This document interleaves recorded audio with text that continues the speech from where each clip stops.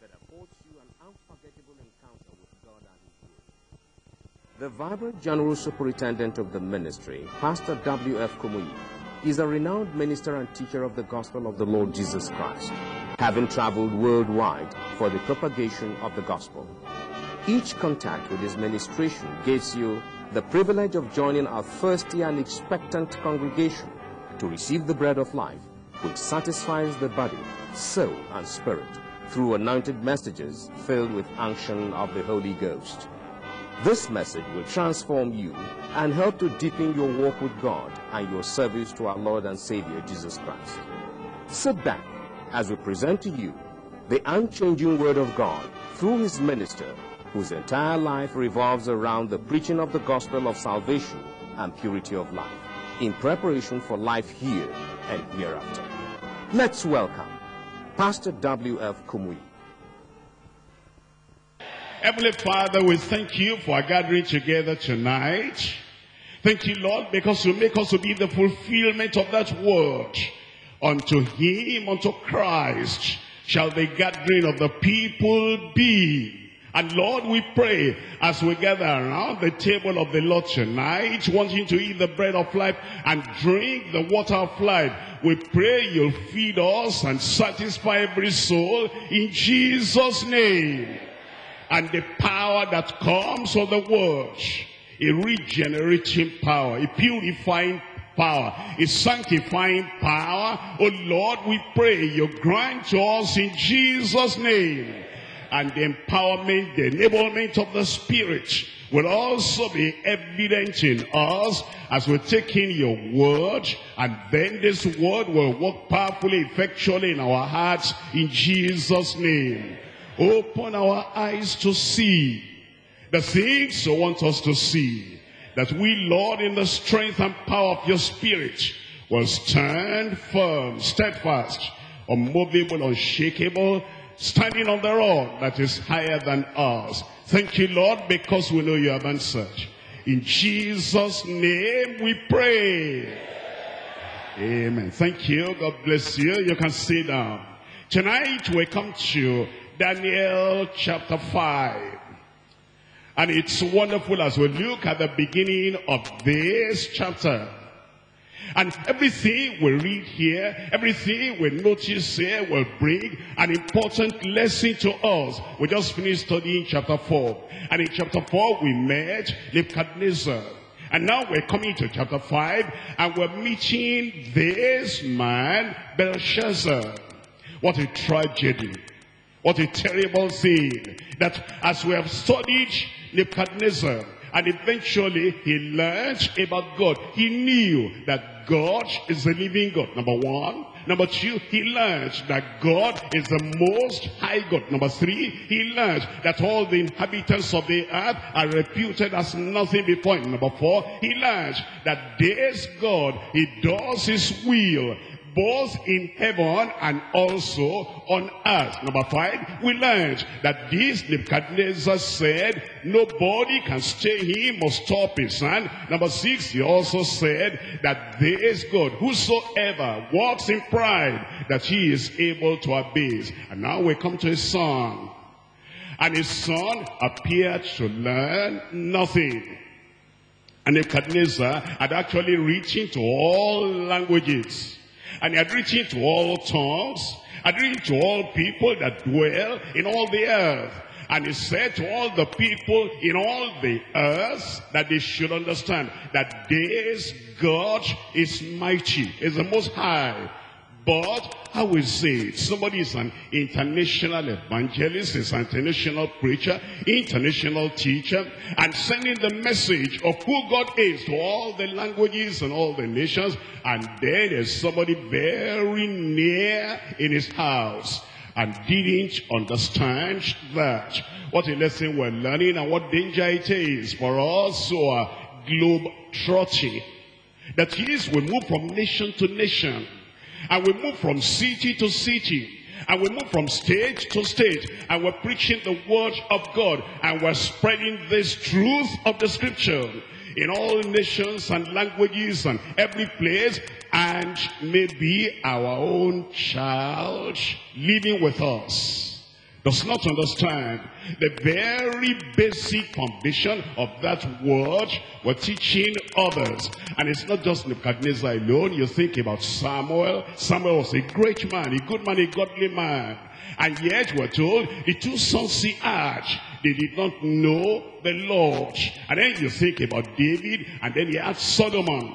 And Solomon, although he was reputed as the wisest man on earth, he did not live and walk in the footsteps of his father. But then, thank God, the whole picture is not all negative. We have Zechariah and Elizabeth, and we have John the Baptist, their son. The only one son that they had. And we're told that Zechariah was filled with the Spirit of God.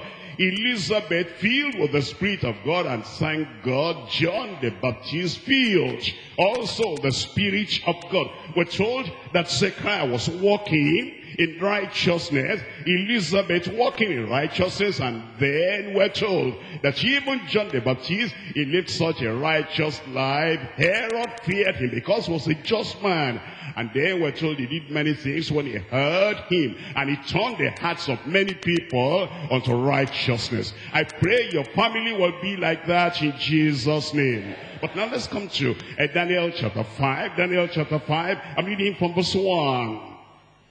Belshazzar, the king made a great feast to a thousand of his lords and drank wine before the thousand. Belshazzar, whilst he tasted the wine, commanded to bring the golden and silver vessels which his father Nebuchadnezzar had taken out of the temple which was in Jerusalem, that the king and his princes and his wives and his concubines might drink therein. Then they brought the golden vessels with that were taken out of the temple of the house of God, which was at Jerusalem. And the king and the princes and his wives and his concubines drank in them. And they drank wine and praised the gods of gold and of silver and of brass and of iron and of wood and of stone.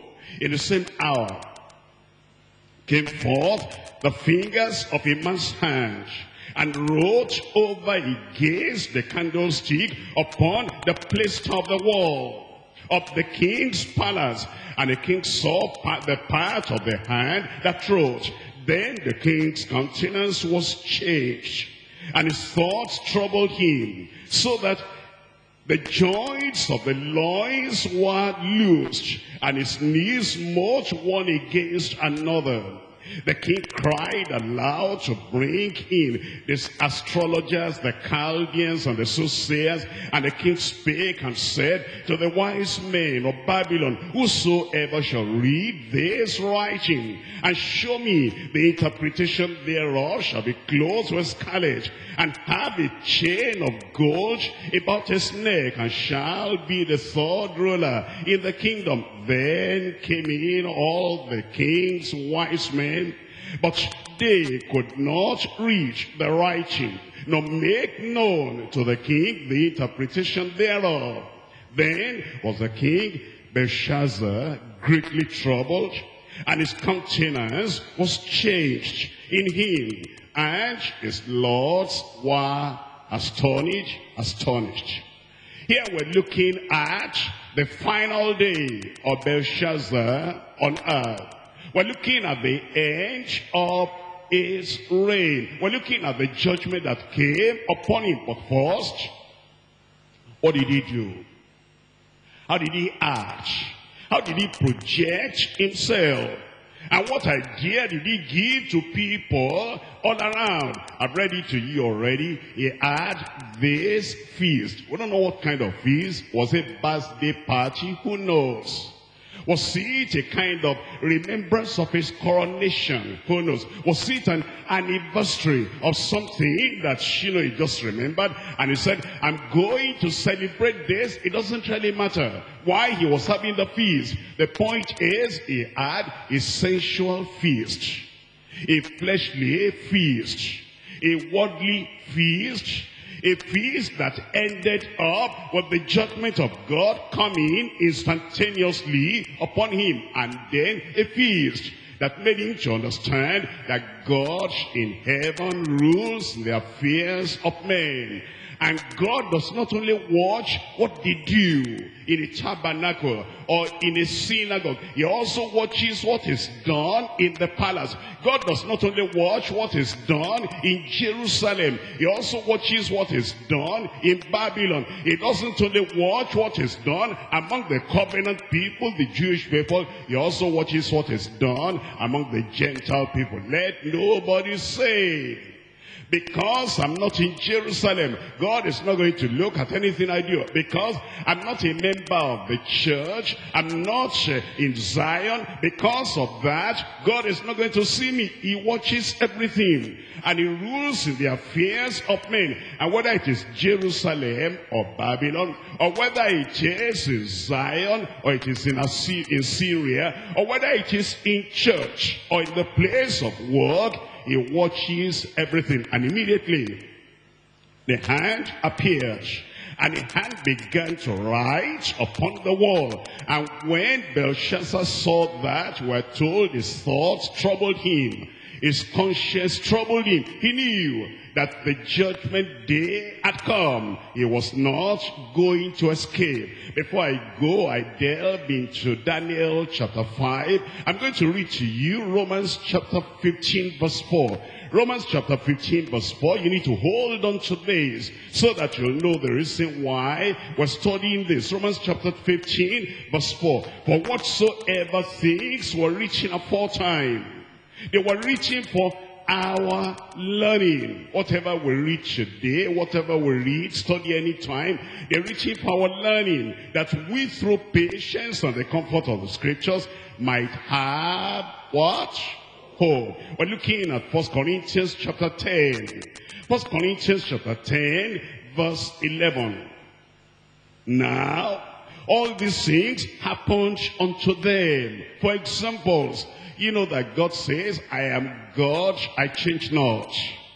What does that mean? It means that the way he looks at things, that way has not changed. His attitude to what people do, that attitude has not changed. That I am God, I change not. This is what Belshazzar did, and this was the reaction of the Almighty God. And if anybody does today what Belshazzar did at that time, God will act the same way, because it says all these things happen unto them. For examples, and they are reaching for our admonition, upon whom the ends of the world are come. Actually, what we're reading about today and what we're going to study a few weeks now in Daniel chapter 5. I'm back to Daniel chapter 5. In Daniel chapter 5, you'll find out that more than about 200 years before Daniel chapter 5, Isaiah had spoken about it. About 70 years before Daniel chapter 5, Jeremiah had spoken about it. If Belshazzar had just attended Bible study of Daniel, if Belshazzar had just taken the prophecy of the book of Isaiah and he had read, and then if he kept that picture before him every time, and was looking ahead and saying, if I do this, this is what Isaiah said. Yes, I know. It's about 200 years ago he said that. But if I do this, this is what will happen if he kept that ahead of him. And if he had read Jeremiah and he had said, I'm keeping the book of Jeremiah in front of me every time. The temptation will come that I should go this direction. If I go that direction, I'm keeping the book of Jeremiah before me. If I do that, this is what will happen. What a lesson for believers today. Read the words of Jesus Christ and know the edge of the life of the sinner and keep that before you every time and say, if I do this, this is going to be the end. It is by meditating, it's by focusing, it's by concentrating on what Christ had said. And he said, if this happens, if you walk on this broad road, if you copy Belshazzar, If you follow this direction, this is where it will end. If you will keep that before you every time you think about that, you concentrate on that, you focus on that, you meditate on that, you'll never fall in Jesus' name. And look at Isaiah chapter 13, verse 19. And Babylon, the glory of the kingdoms, the beauty of the Chaldees' excellency, shall be as when God overthrows Sodom and Gomorrah. Think about that. And then look at Isaiah chapter 47. I'm skipping some verses, but I'm going to start from verse 1. It says, Come down and sit in the dust, O virgin daughter of Babylon. Sit on the ground. There is no throne. See that.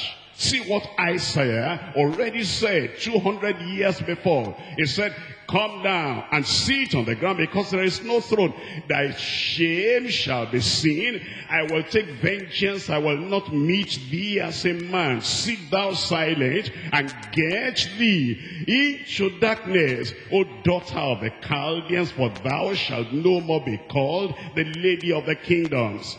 Thou, go down some verses, it says, Thou hast trusted in thy wickedness.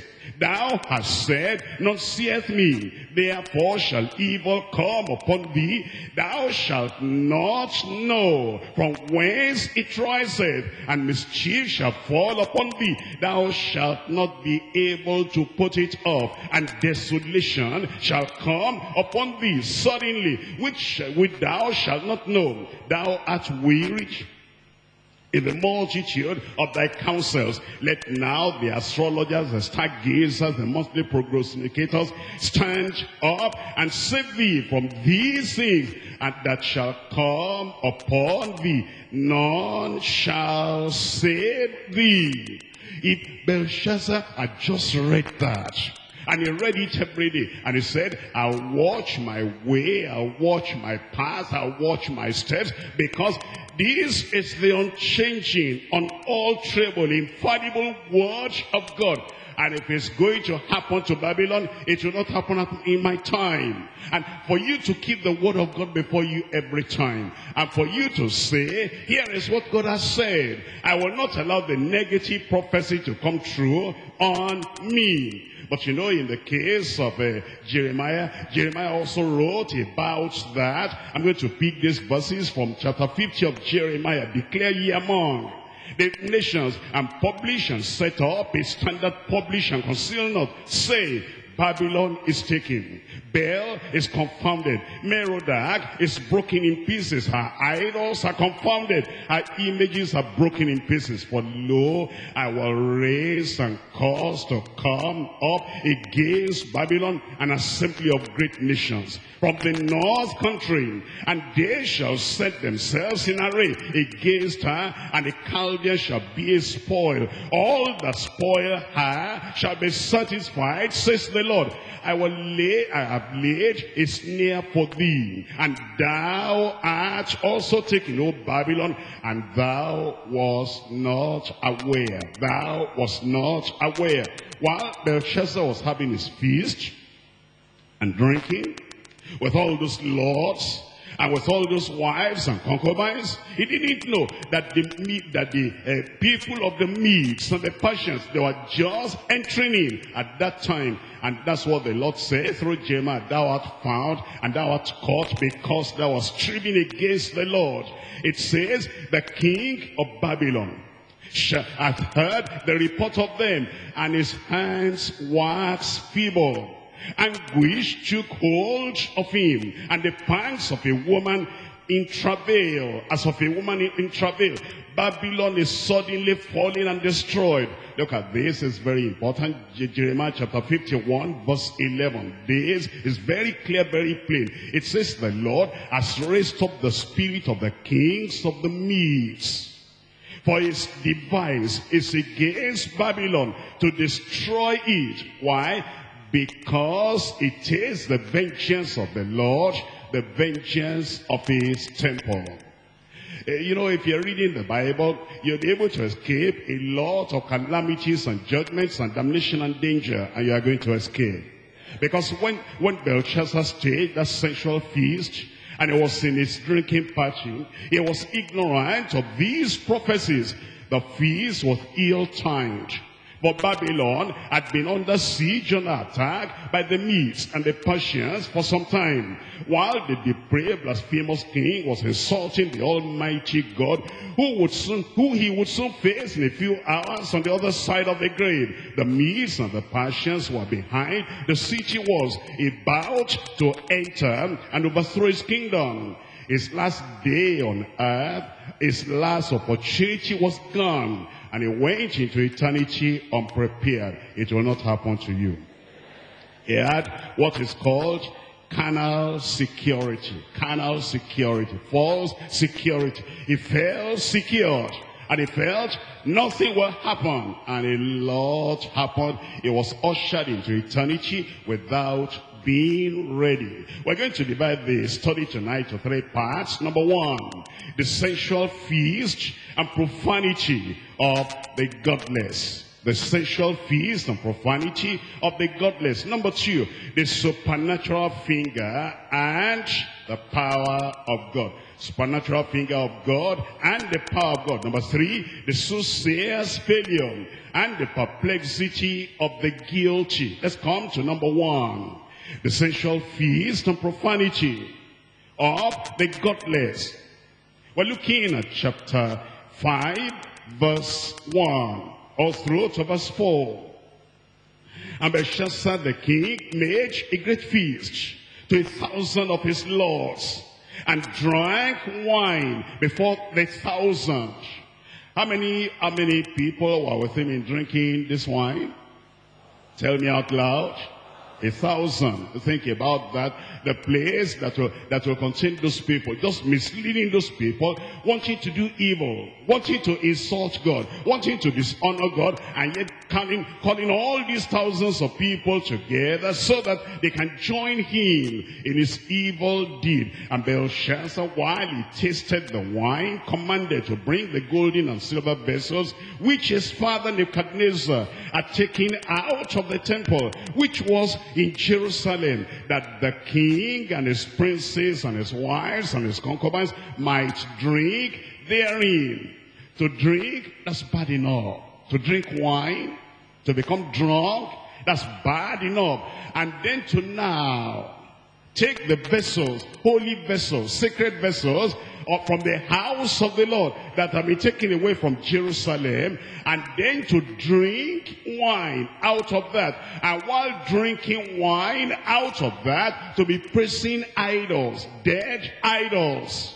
That was terrible. That's what you read now in verse 3. Then they brought the golden vessels that were taken out of the temple of the house of God, which was at Jerusalem. And the king and his princes and his wives and his concubines drank in them. They drank wine and praised the gods of gold and of silver, and of brass, and of iron, of wood, and of stones. You know something? Sinners are very careless negligent, inattentive. They are thieves when their destruction is at hand.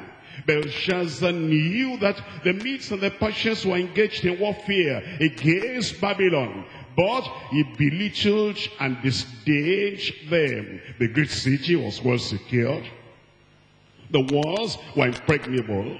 And the mighty gates were shut in his pride and self-conceit, in his carnal false security. He disdained the enemy and he profaned the name and the worship of God. When carnal security and contempt for the God of heaven, when they unite together, they take over a man's life and then destruction, irreversible judgment will be very near how thoughtless Nebuchadnezzar was to pitch his magnificence against God's majesty. This man committed great sin. A great sin, sacrilege. It was an insult against the great God of heaven and earth. He acted in a spirit of contempt and defiance against God. And God acted quickly, swiftly, bringing sudden condemnation and destruction upon him, upon his princes, upon his wives, upon his concubines, and upon the kingdom. Let's see all these things. We're looking at Isaiah chapter 22. Isaiah chapter 22. We're reading from verse 12. Isaiah 22. We're reading from verse 12. Here is what it says. And in that day did the Lord God of hosts call to weeping and to mourning and to baldness and to getting of sackcloth you see, this uh, man who was not going to real judgment in verse 13, it says, Behold, joy and gladness, slaying oxen and killing sheep, eating flesh and drinking wine. That's the feast itself. Let us eat and drink, for tomorrow we shall die. That's what we were thinking. Let's enjoy ourselves. Let's drink what we need to drink. Let's eat all we need to eat. After all, man does not continue here forever, for tomorrow we shall die. The Lord did not even give him the privilege of living till tomorrow. For tonight, Belshazzar, you will die. You see, when somebody goes beyond the day of grace, and it goes beyond the period of mercy, and then does it and does it and then he has what is called the superfluity of nothingness. That's what James calls it. James said this is the superfluity, the surplus, something that goes beyond overflowing evil that he was drinking and then he went to take the vessels of the house of the Lord and to drink from that and with that superfluity of naughtiness and pride swift judgment will come. In verse 14 and it was revealed in mine ears by the Lord of hosts surely this iniquity shall not be purged from you till ye die says the Lord God of hosts. I pray it will not happen to you Nahum chapter 1. Nahum chapter 1. We're looking at when people go ahead and they do something like this. They disregard God, they dishonor God, they insult God, they belittle God, they disdain God. And what happens to them? We're looking at Nahum chapter 1, verses 10 and 11. In verse 10, for while they be folding together, as thorns. And while they are drunken as drunkards, they shall be devoured as stubble fully dry.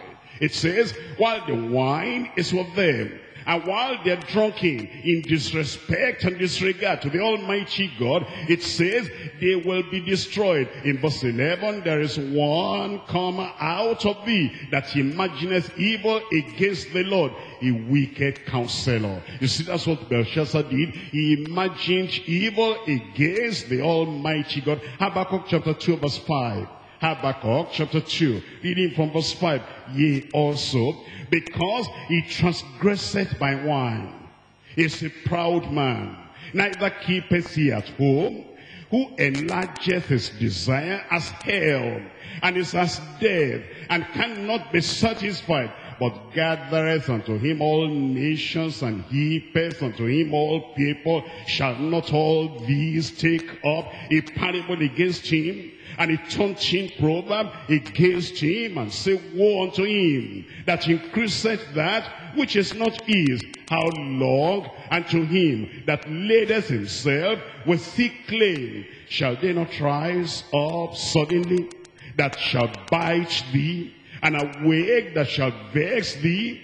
And thou shalt be for the booties unto them in verse 8, because thou hast spoiled many nations all the remnants of the people shall spoil thee because of men's blood and for the violence of the land and of the city and of the dwelling therein. Look at verse 15. In verse 15 it says, Woe unto him that does what?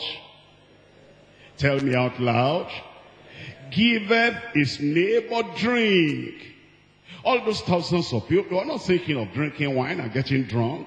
All those thousands of people, they were not thinking of insulting the Almighty God and taking the vessels out of the house of that they have taken out of Jerusalem and drinking out of it. It was Belshazzar that led them into that. He said, I want to dishonor the God of Israel. I want to dishonor the living God, the most high God. I want to dishonor the one that made his father Nebuchadnezzar mad and drove him into the forest. I want to dishonor him. And he invited all these people and gave them the wine to drink one to him. That, that giveth his neighbor drink, that putteth thy bottle to him, that and makest him drunken also, that thou mayest look on their nakedness thou art filled with shame for glory. Drink thou also, and let thy foreskin be uncovered. The cup of the Lord's right hand shall be turned unto thee, and shameful spewing shall be on thy glory. That's talking about the judgment that will come. But uh, let's come back to this Daniel chapter 5. Daniel chapter 5. And here we're looking at something. We're looking at verse 2 and looking at verse 3. Daniel chapter 5 verses 2 and 3. And let us see something here. Let's observe what this man did. And what is it the Lord is teaching us that we're learning from this? Daniel chapter 5, I'm looking at verse 2. And Belshazzar, while he tasted the wine, commanded to bring the golden and the silver vessels. What did he say they should bring? Okay, remove the golden and the silver. What did he say they should bring? The vessels, the vessels which his father Nebuchadnezzar are taken out of the temple which was in Jerusalem. And the king and his princes and his wives and his concubines that they might drink therein. And then they brought the golden vessels that were taken out of the temple of the law of the house of God, which was at Jerusalem. And the king and the princes and his wives and his concubines drank in them. In short, what are we going to say he did? He desecrated, desecrated. You know, to consecrate is to give something to the Lord. And is to make that thing pure, to keep it clean, and then separate and devote that thing, consecrate it unto the Lord. But to desecrate, that's the opposite. That means you defile it, you desecrate it, you make it dirty, and then you do something with it that is insulting to the Almighty God. I told you I read it to you already. All these things are written for our learning upon whom the ends of the world are come. And what things soever were written aforetime, they were written for our admonition, that we through patience and comfort of the scriptures might have hope. What do I have to do? What do you have to do? With the vessel. And what is the vessel pointing to? And how can somebody do that today and take the vessels, understand, something consecrated to God, something devoted to God, something abandoned to God, something that is holy, separate for the service of the Lord, a vessel, and then desecrate that today. And then let's look at what the scripture actually is pointing to. Ultimately, when he's talking about vessel, I'm looking at, I'm looking at First Kings chapter 8. First Kings chapter 8, we're looking at verse 4. First Kings chapter 8, we're looking at verse 4. Here it says in verse 4, And they brought up the ark of the Lord, and the tabernacle of the congregation, and all the, what's the rest? Holy vessels that were in the tabernacle. Even those did the priests and the Levites bring up. Understand there's something you mark in your mind, something you underline in your Bible, something you focus on as you think about the vessels. It is holy vessel. It's only to be for holy use. Holy use, sacred use, sanctified use. Now we look at 1 Samuel chapter 21. For Samuel chapter 21, I'm reading now from verse 3. For Samuel chapter 21, verse 3. Now therefore, What is under thine hand? Give me five loaves of bread in, thy, in mine hand, and of what there is present. And the priest answered David and said, There is no common bread under mine hand, but there is hallowed bread, sacred bread, separated bread. And then it says, if the young men have kept themselves at least from women, if they have kept themselves holy and righteous and pure, separated, consecrated, then I can give them the special sacred bread. Verse 5, and, they, and David answered the priest and said unto him, Of a truth, we men have not have been kept from us about these three days since I came out. And the vessels of the young men are what? Holy. What does it mean, the vessels of young men? The body of the young man. That's the vessel. That's the vessel. Now, a child of God is not the vessel. It's the holy vessel. And when you take that body of yours, and then you defile, you desecrate that body. That's like what Belshazzar did. You are not going to take something now and take an instrument in the house of God. We've gone beyond that. This is New Testament dispensation. Now, the, the vessel is your body. And when that is defiled with sin, and when that is desecrated with evil, that's exactly what Belshazzar did. We're looking at Jeremiah chapter 22. Jeremiah chapter 22. I'm reading from verse 28. Jeremiah chapter 22 verse 28, the vessel, holy vessel. What did, uh, what was uh, Belshazzar thinking? Belshazzar was thinking that these vessels, they don't have any honor anymore. And there's no pleasure in them anymore. They have something that, that they don't have any glory anymore. After all, my father has taken them away from Jerusalem. And they have been in Babylon all through these years. There's not anything pleasant about them anymore. Let me drink wine with them. We're looking at Jeremiah 22 verse 28. Is this man Coniah a despised broken idol? Is he a vessel wherein is no pleasure? A vessel wherein is no pleasure when somebody looks at a child of God and he says this one is a vessel where of no pleasure. After all, he's not even a worker in the church. After all, he's not even doing anything significant in the church, but he's a child of God, a child of God. And then you think that that is a vessel of no pleasure.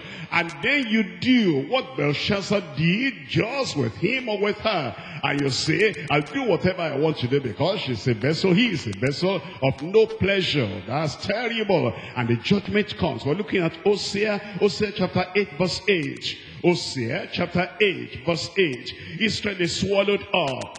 Now shall they be among the Gentiles as a vessel wherein is no pleasure. The children of Israel as a whole, that's a congregation now. That's a group of people all united together because they were carried away captive. Then the Babylonians, they said, if they were having any pleasure, if they were pleasant to the Lord, how will they be carried captive? You see, when you look at a local church, a group of the children of God, maybe they don't, they don't have a good building like this, or maybe there is you know, a particular problem, but that's the congregation of the Lord. And then you insult them, or you defile them, or you do anything to scatter them, to destroy them. And then you say, after all, it's like Israel, a vessel that has no pleasure. That's why the judgment comes upon many people. They don't understand why. I'm looking at Acts of the Apostles chapter 9 verse 15. Acts chapter 9 verse 15. But the Lord said unto him, Go thy way, for he is a chosen vessel unto me. See that. Go thy way. He is a chosen vessel unto me. That's talking about Saul of Tarsus. And this is Paul. He met the Lord on the way to Damascus. And now the glory of the Lord is upon him. The Spirit of God is within him now. And then is to carry the message of life, the message of the gospel of salvation. Is to carry that to all the nations. And God said, he is a chosen vessel. If you see a person like that, and you said, I know his past life. I know what he used to do. I know what he did to the believers, imprisoning them and taking them into prison and captivity. And if I touch this one, if I destroy this one, if I persecute this one, if I defile this one, nothing will happen. Because I know what he did in the past. Now he's a chosen vessel. Belshazzar did not understand. You know what? Nebuchadnezzar ruled for 40 years, 40 long years. And it was at the beginning of the captivity, at the beginning of the rule of Nebuchadnezzar, he took all those vessels. And those vessels have now been laid aside for 40 years. And now Belshazzar started to reign. And he said, all these vessels, they've been there lying fallow. For all these 40 years, they don't have any value. They don't have any pleasure. God, does, God is not interested in all these, uh, all these vessels because for 40 years they have been staying there. Bring them out. I want to drink wine with them. That's what you think because that Paul the apostle chosen vessel of the Lord.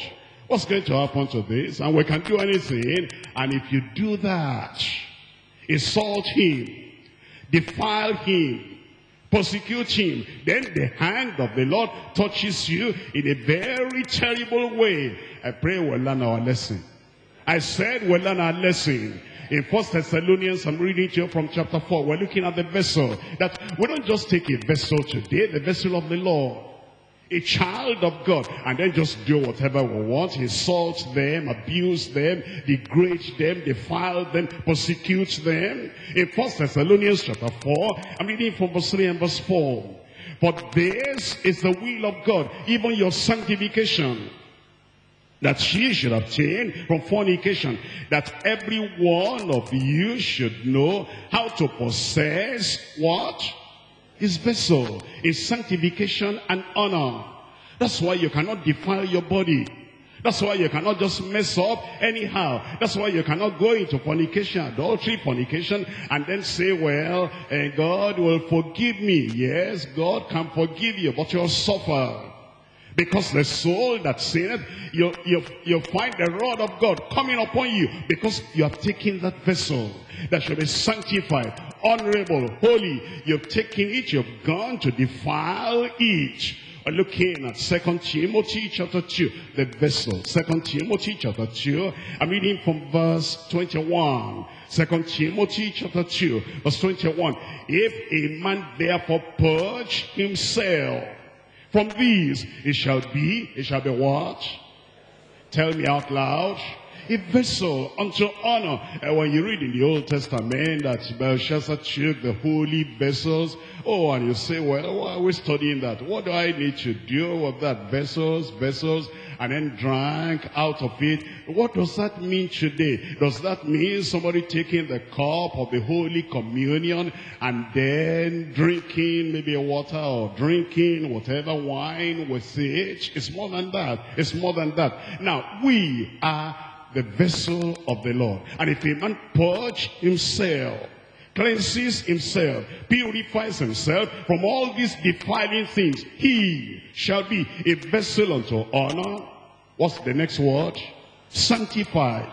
Sanctified. That means, uh, you know, you, you go to the Lord after salvation and the Adamic nature is dealt with. There is a putting of that Adamic nature and then it does circumcision of heart and it gives you a new heart, sanctified and then meat ready fit for the master's use when he says, for the master's use, as a sanctified vessel like that, you are just for the glory of the Father, for the honor of the Father. And you are not to be used in defilement by anything in the world. If anybody comes to you and then says, I want to do that, you say, no, I'm now a sanctified vessel, honorable with ple pleasure. And then it says, your feet for every good work and profitable and prepared unto every good work. I pray that will be your Lord in Jesus' name. We're coming back to Daniel now. Daniel chapter 5, the supernatural finger and power of God. That's point number two. Supernatural power, a finger and power of God. We're looking We're coming back to Daniel now. Daniel chapter 5. The supernatural finger and power of God. That's point number two. Supernatural power, a finger and power of God. We're looking at Daniel chapter 5 verse 5. In the same hour came forth the fingers of a man's hand and wrote over against the candlestick upon the plaster of the wall of the king's palace. And the king saw the part of the hand that wrote. Then the king's countenance was changed, and his thoughts troubled him, so that the joints of his loins were loosed, and his knees smote one against the other. And you will see over here what happened. While he did that, judgment came immediately. The finger of the Lord began to write suddenly at the height of his drunkenness. The king saw the fingers of a mysterious hand writing on the wall in front of him. The appearance of the fingers without the whole body of the writer frightening him, alarmed him. There were no claps of thunder.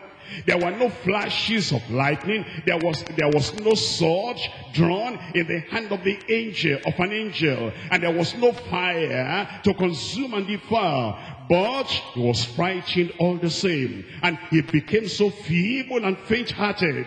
His own hands and his own fingers had desecrated the vessels of God's house. And suddenly the fingers of God appeared to write his doom and his damnation. He was immediately seized with panic and uncontrollable fear. And he had no strength in him. He did not hear the voice of the great judge. Yet he was troubled and terrified. He did not understand what was written. Yet the joints of his loins were loose and his knees smote one against another. What shall it be on the judgment day when we shall see not only the fingers writing on the wall, but we'll see will hear, will feel, will know the power of an awesome God. The terrors of God are unbearable. Repent, therefore. That's the message. The Lord says, what to repent, what to call upon the name of the Lord. We shouldn't wait until it becomes too late. When we talk about the finger of the Lord, what does that mean? It's, uh, that's identifying the power of God. Uh, they knew that in Egypt. Look at Exodus chapter 8, verse 19. Exodus chapter 8, I'm reading from verse 19. It's telling us there, Then the magician said unto Pharaoh, This is the finger of God. When that judgment came upon, came upon them, the magician said, This is no other but the manifestation of the finger of the Lord. The same fingers that wrote the Ten Commandments will write the doom, the damnation, the condemnation of those who sin against those commandments. It's the finger of God that wrote the Ten Commandments. And those who sin against those commandments of the Lord, that same finger that wrote the Ten Commandments will write their condemnation and damnation. We're looking at Exodus chapter 31. Exodus chapter 31, we're looking at verse 18. And he gave unto Moses, when he had made an edge of communion with him upon Mount Sinai, two tables of testimony, tables of stone, reaching with the finger of God. Eventually, judgment came upon Belshazzar. Why are we studying that? So that we will escape the judgment of God. You will escape. I said, you will escape. A man will be a foolish man if he sees what has happened to another person. You know, somebody is going in front of you, and then he falls into a pit. That man will be foolish to still keep on going. You find Belshazzar going in front and see what he did. And then damnation and doom, condemnation, destruction came upon him. Everlasting punishment came upon him. Well, be foolish to then just follow Belshazzar and do exactly what he did. No, we're not going to follow what he did. We're going to escape the judgment of God in Jesus' name. Isaiah chapter 13 verse 6. Isaiah chapter 13. We're reading from verse 6. How ye for the day of the Lord is at hand? It shall come as a destruction from the Almighty. Therefore shall all hands be faint, and every man's heart shall melt, and they shall be afraid, and pangs and sorrows shall take hold of them. That's exactly what happened to this Belshazzar. And they shall be in pain as, as a woman that travaileth. They shall be amazed one at another. Their faces as the flames. It tells us in verse 17. That same Isaiah 13 verse 17. Behold, I will stir up the Medes against them which shall not regard silver, and as for gold, they shall not delight in it. Their bows also shall dash the young men to pieces, and they shall have no pity on the fruit of the womb. Their eyes shall not spare children. And Babylon, the glory of kingdoms, the beauty of the Chaldeans, excellency, shall be as when God overthrew Sodom and Gomorrah. And that's what Isaiah had said, and it came eventually upon them. We're looking at Ezekiel chapter 7. Ezekiel chapter 7. If Belshazzar had just read these verses, that had been reaching before he was even born. And he would have been able to escape the judgment of God. But he was uh, too busy with his wine and wives and women and concubines and everything that he didn't have any time to read all these warnings, the prophecies that warned him that judgment was coming. You don't have time for that. How many people today are like that in the world? They don't have any time to read all these prophetical warnings that the Lord is giving us. And he's saying, this is what will be the lot of the unbeliever at the end of time. And because they don't have time to read, they're not afraid of anything. They just live their lives in sensuality and fleshly carnality and worldliness. I pray that those of us who are taking time to read and to study these things, we shall escape in Jesus' name. We're looking at Ezekiel chapter 7 verse 17. Ezekiel 7 verse 17. All hands shall be feeble and all knees shall be as weak as water. They shall also gird themselves with sackcloth, and horror shall cover them, and shame shall be upon all faces, and baldness upon all their heads. They shall cast their silver in the streets, and their gold shall be removed. Their silver and their gold shall not be able to deliver them in the day of the wrath of the Lord. That's exactly what happened to Belshazzar his wealth, his gold, his silver, his money, his popularity, his position. They were not able to deliver in the day of the wrath of the Lord came. And then was swept away into everlasting judgment and punishment. They shall not satisfy their souls, neither shall they fill their bowels, because it is a stumbling block of their iniquity. Look at verse 25. Destruction cometh and they shall seek peace, and there shall be none. Mischief uh, shall come upon mischief, and rumor shall be upon rumor. Then shall they seek a vision of the prophet, but the law shall perish from the priest, and counsel from the ancients. The king shall mourn, and the prince shall be closed with desolation, and the hands of the people of the land shall be troubled. I will do unto them after their own way, and according to their deserts will I judge them, and they shall know that I am the Lord. That's the judgment that came upon them. And I pray that we will escape in Jesus' name. I thought you'll say amen. In Ezekiel chapter 21, Ezekiel chapter 21, I'm going to read to you from verse 7, the judgment that came, and the supernatural power of God that came to bring this judgment upon them. In Ezekiel chapter 21, verse 7, and it shall be when they shall say unto thee, Wherefore sighest thou?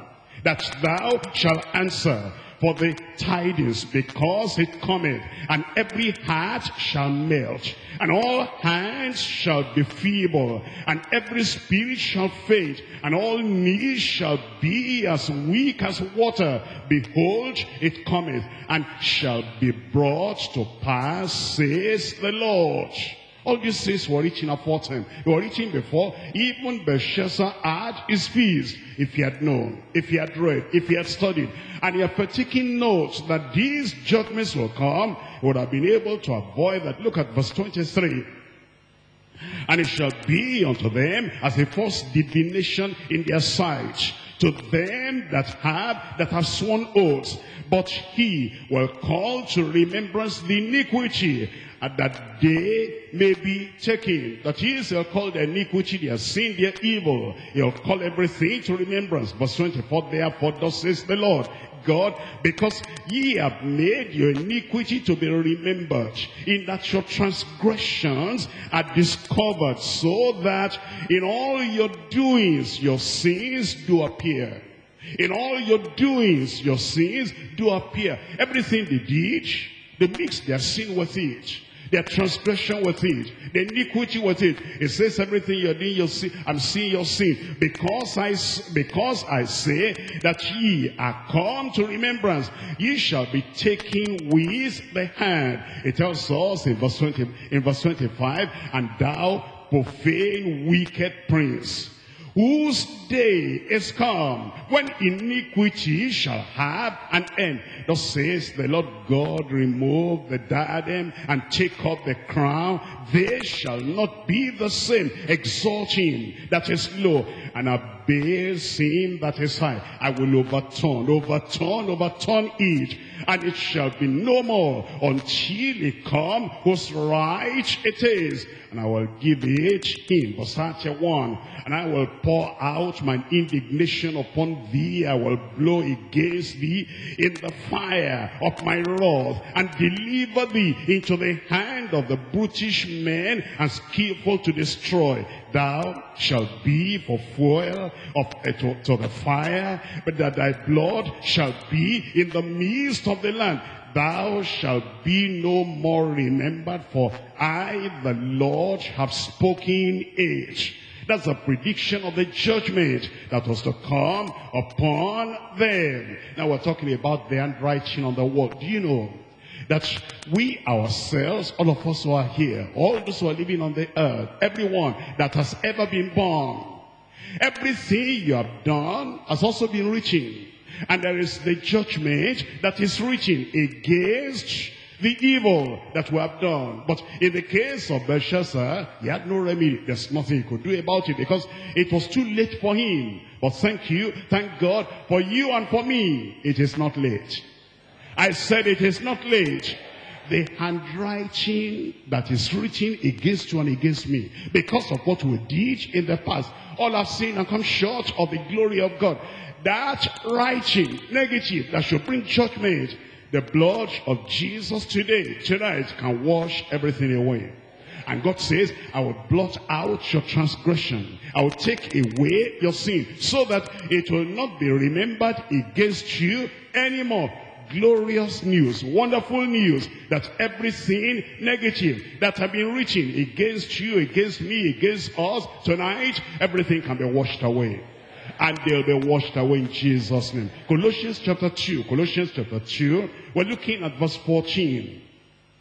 Colossians chapter 2, verse 14. Blotting out the handwriting of ordinances that was, that was against us. Blotting out, wiping out, cleansing out. Uh, this, this is your opportunity. This is our opportunity together. As the devil is bringing the condemnation in your heart. See what you have done. See what you have done. See what you have done. There are some people that are carrying the condemnation and the guilt. They're carrying that about as their shadow is following them. And they could have solved the problem. Just stop where you are. And in your room or in the church, anywhere you are, just say, Oh Lord, I know Jesus died for me. And his name shall be called Jesus, for he shall save his people from their sins. And the blood of Jesus Christ, his son, cleanses us from all unrighteousness. As sprinkle clean water upon you, and you shall be clean. From all your transgression, all your filthiness, all your idols will I cleanse you. That cleanse is available today. I said it's available today. And whosoever shall call on the name of the Lord shall be cleansed, shall be purified, shall be washed. Everything shall be taken away in Jesus' name. But the people that do like Belshazzar, and you see other people praying, and you see their daddy Nebuchadnezzar praying and saying, I extol God, I praise God, I now, I, I humble myself in the sight of God, and then the sins of Nebuchadnezzar, everything was washed away, and then like Belshazzar, they said, I don't care for that, I'm not going to pray for that, I'm going to be a man, a woman, a lady, a boy, a girl of myself, and then your sin remains, and then eventually you have nobody to blame when you die in that sin and then you are judged for that iniquity you have done. But the opportunity is there today that we can call upon the name of the Lord. And it says he blots out, he cleanses all. he takes away the handwriting of ordinances that was against us, which was contrary to us. And he took it out of the way. He'll take your sin out of the way nailing it to his cross. And when that happens, God says, I'll not remember your sin against you anymore. They are forgiven and they are forgotten forever in Jesus' name. I need a good headquarters, amen. Hebrews chapter 10, I'm reading from verse 17. When your sins are washed away.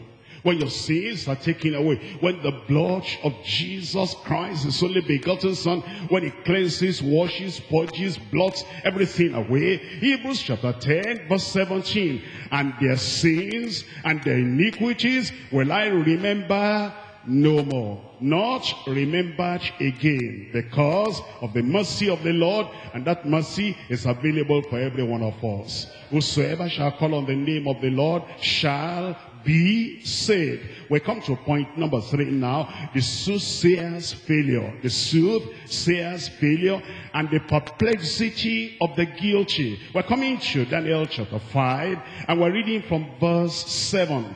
Daniel chapter 5, reading from verse 7.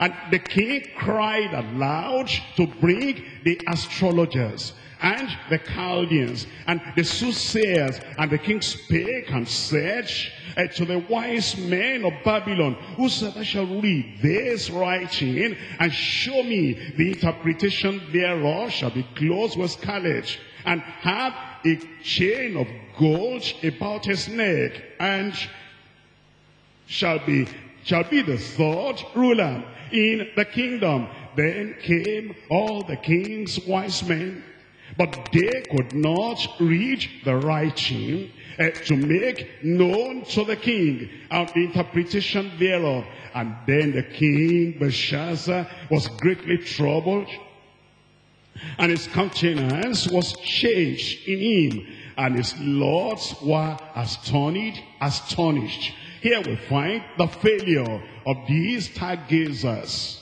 the failure of the soothsayers, the failure of the people that were professing to have the power, the knowledge, the insight, the revelation of the Almighty. But they fell flat. We're looking at Isaiah chapter 44 verse 25. Isaiah chapter 44.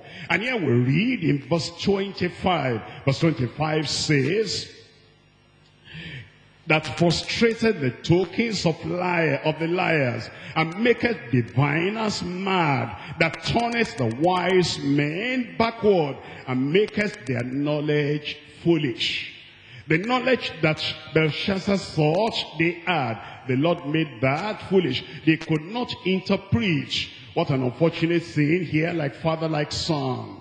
Belshazzar sought the help of the astrologers, the Chaldeans, and the soothsayers, just like Nebuchadnezzar did repeatedly in his days of darkness, superstition, and ignorance. They, they always failed to understand or to interpret God's message from heaven. But these earthbound kings always sought after them. They always sought help where there is no help seeking help where there is no help. How many people are still doing that today in our world? They have a little problem or they have a big problem, a major problem, and they're seeking help from man where there is no help. Jeremiah chapter 17. In Jeremiah chapter 17, I'm reading from verse 5. Jeremiah 17 verse 5. Actually, there's judgment on people like that. Those who seek after soothsayers those who are looking for hidden knowledge from the cult or from occultism. Those who are seeking from the superstition and the power of Satan. And they're seeking some things from those who says there's judgment on them. In Jeremiah chapter 17 verse 5, thus says the Lord, Cursed be the man that trusteth in man and maketh flesh his arm, whose heart departed from the Lord. Have you noticed some people, as the promises of God are there? We can easily claim those promises, but no, their minds are not in God's promises. Their hearts are not in the promises of God. And when they're looking for either guidance or they're looking for direction or they're looking for where to go or what to do, they're not looking at God and they're not seeking the face of the Lord. They're seeking after man. And it says, Cursed be the man that trusteth in man and maketh flesh his arm his support, his power, his sustenance. And then it says, and whose heart departeth from the Lord. You think about yourself. When you have a particular need in your life, what's the first person you think about? Do you think about God? About Christ?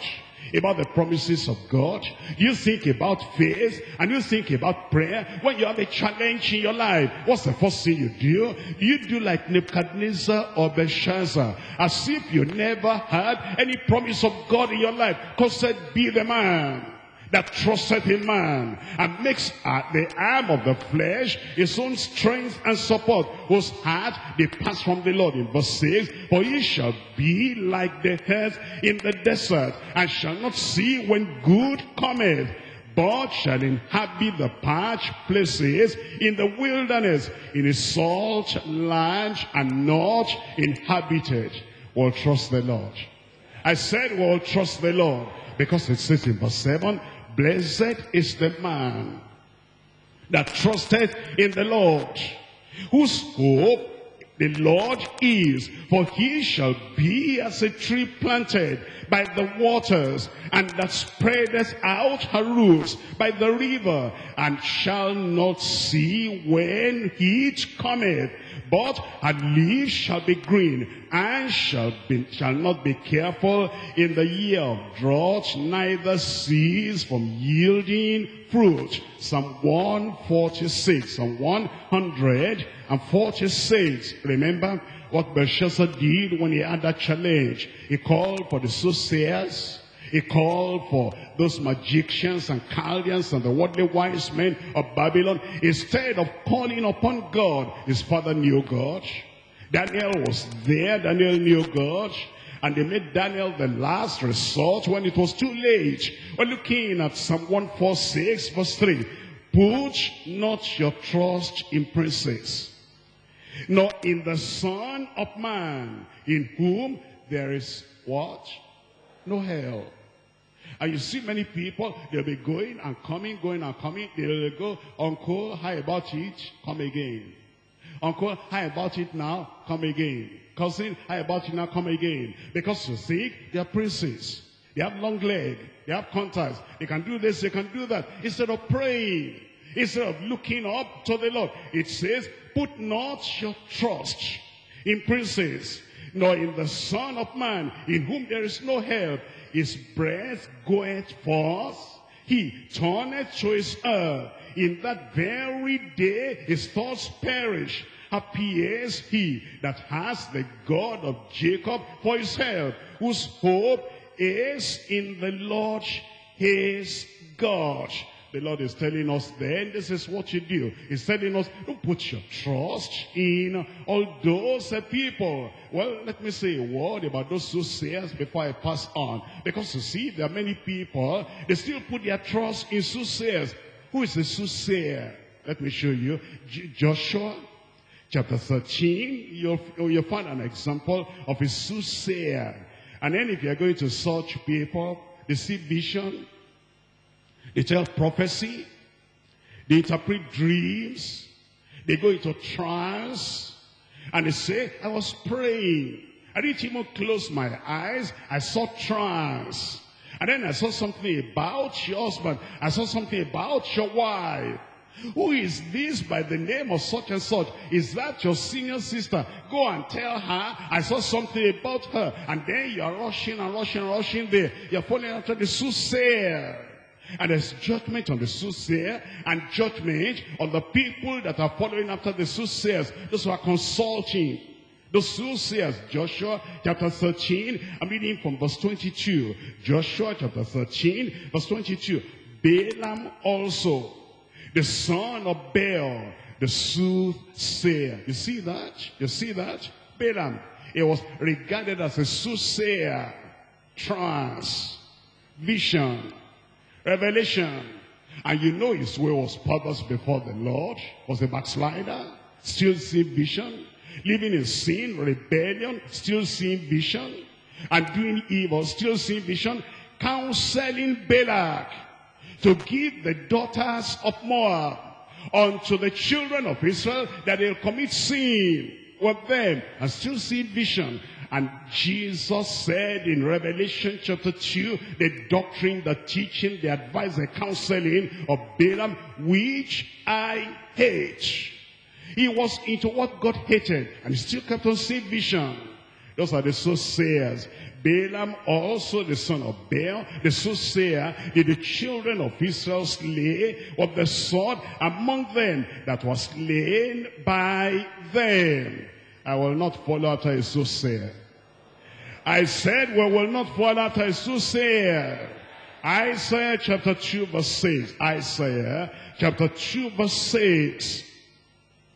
Therefore thou hast forsaken thy people, the house of Jacob, because they, they be replenished from the east, and are soothsayers like the Philistines. They are soothsayers like the Philistines. You know what?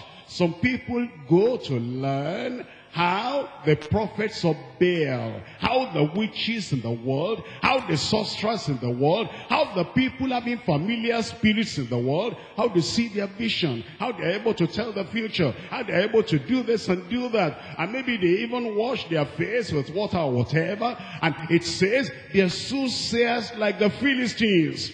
And God is against it. And God said, thou hast forsaken thy people. And the word of God says, thou hast forsaken thy people. The house of Jacob. Why? Because they became soothsayers like the Philistines.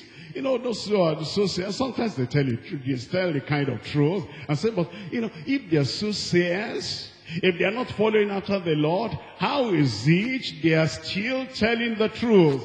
Have you ever noticed sometimes your wall clock is dead and your wall clock died at quarter to five. The battery is run down and it's not working again. And it happens to be that when you looked up, it was exactly quarter to five. And the dead clock is correct at that time. And then you sleep, you wake up early in the morning, you say, ah, should I wake up now? Is this six o'clock yet? Then you look up, it's quarter to five. The thing is just there because it's dead, and yet it's dead and correct. You know, those associates, they are correct once in a while. And that doesn't mean they are following after the Lord. I will not follow soothsayers. Look at Acts of the Apostles chapter 16. Acts of the Apostles chapter 16. I'm looking at verse 16. And it came to pass as we went to prayer, a certain damsel possessed with what? A spirit of divination. This evil spirit. This is familiar spirit. This is not Holy Ghost. Acts 16, 16. It came to pass, as we went to prayer, a certain damsel possessed with a spirit of divination met us, which brought her masters much gain by soothsaying. The soothsayers are the people involved, the soothsayers. And the same followed Paul and us and cried, saying, These men are the servants of the Most High God. Is that correct or not? It's correct. Soothsayers can be correct once in a while. That doesn't mean you'll follow them. That doesn't mean you'll be seeking vision and direction and counseling from them. These men are the servants of the Most High God, which show us the way of salvation. And they she did many days, but Paul being what? Grieved. You know, Paul the apostle knew. He knew that this is soothsaying, even though the information appears correct. All the same was grieved, and he turned and said to the Spirit, I command thee in the name of Jesus Christ to come out of her. And he came out the same hour. That's the reason why we are not going to follow them. In the case of Belshazzar, he called these people and he said, help me, interpret this for me. Were they able to help? No, they were not able to help. And that's why we're not going to follow something that is not going to help. We're going to keep on following the Lord in Jesus' name. Job chapter 18. Job chapter 18. We're looking at uh, verse, we're looking at verse 11. Job 18, reading from verse 11. Terrors shall take him, shall make him afraid on every side. That's what happened to Belshazzar. Even though he called the soothsayers and the astrologers and the stargazers and the Chaldeans and the wise men all the same, they were not able to help. Terrors shall make him afraid on every side and shall drive him, right, shall drive him to his feet. And then it says the strength shall be hunger beating and the destruction shall be ready at his side. It shall devour the strength of his skin. Even the firstborn of death shall devour his strength. His confidence shall be rooted out of his tabernacle. And it shall bring upon, it shall bring him to the king's terrors. It shall dwell in his in his tabernacle, because it is none of his. Brimstone shall be scattered upon his habitation, his roots shall be dried up beneath, and above shall his branch be cut off. His remembrance shall perish from the earth, and he shall have no name in the street. He shall be driven from the light into darkness, and chased out of the world. That's exactly what happened to Belshazzar. It will not happen to me. I said it will not happen to you. Because he didn't follow the way of the Lord. We will follow the way of the Lord. The writing that was written against him, he didn't know how those sins can be wiped out. But today we know anything that is written against you, we still have the opportunity and the grace of God. We can call upon the name of the Lord, all your sins will be forgiven all the iniquities will be taken away. And the guilt and the condemnation will be wiped away with the blood of Jesus Christ. Can we do that tonight? I say, can we do that tonight? Why don't you rise up and tell the Lord everything that is written against you, every judgment, every condemnation, because of the sins you have committed, and because of the backsliding that has taken place. You want to tell the Lord, oh Lord, you are a God of mercy, you are a God of love, and you are a God that sent Jesus Christ, your only begotten Son, to take away my sin. I believe the Lord tonight. I trust in the Lord tonight. I'm rejoicing in the fact that the blood of Jesus Christ is still mighty and powerful. And the blood of Jesus Christ will take away, will wash away all my sin. If you will tell the Lord like that, he will forgive you. He will take away your sin. He will purge you, will cleanse you. And the Lord will be so wonderful to you. And then he says, I will remember your sin, your iniquity no more. No more forever. Even Satan will not be able to find that sin. Demons will not be able to find that sin. In the record of God, everything will be wiped away. Why don't you just tell the Lord, oh Lord, here am I. I'm sorry for what I've done. I feel the guilt. I feel the condemnation. Oh Lord, but I remember your promise. You have said, whosoever shall call on the name of the Lord shall be saved. Don't you remember when the prodigal son came back home and the prodigal son said, Father, I'm not worthy to be called your child. The father just forgave. The father just washed away all those iniquities and transgressions. And the father never mentioned it to kind of torment him anymore in his life. That's what the Lord will do to you also. That writing against you, that brings condemnation, that brings damnation, that brings guilt, the Lord will wipe everything away. Just say, Lord, here am I. I thank you for Jesus. He is my Savior. He is my Lord. I trust his name. I trust in the efficacy of the blood of the Lamb to take away all my sins. Thou shalt call his name Jesus. Call him Jesus is your Savior. Call him Jesus is the one that died for you. His blood washes whiter than snow. And the remembrance of anything you have done and the handwriting against you, everything will be totally, totally, completely forgotten. Thank him for that. You believe it in your heart. You confess it with your mouth. That Jesus is your Lord. That Jesus is your Savior. Confess it with your mouth. And it is so. And it is so. You are that whosoever. God loves you so much, He will not allow you to perish. He will not deal with you like He dealt with Belshazzar. You are different because your heart is calling upon the name of the Lord. And now remember, as you come to know the Lord is now your Savior, as you are, you are a child of God, remember that you are now the holy vessel. You are now the holy vessel and God is jealously watching over you. God is jealously, jealously looking at you. And if anything wants to come to defile you, God will defend you. He'll protect you in the day and in the night. He'll defend you and protect you against temptation. He'll defend you and protect you against the defilement of the world because you are precious in His sight. He covers you. He protects you. He preserves you. He's getting you ready for heaven. And will not allow anything to desecrate that consecrated vessel of yours. Stay in the presence of God. Stay under the mighty hand of God. He's able to keep you. He'll keep you from falling.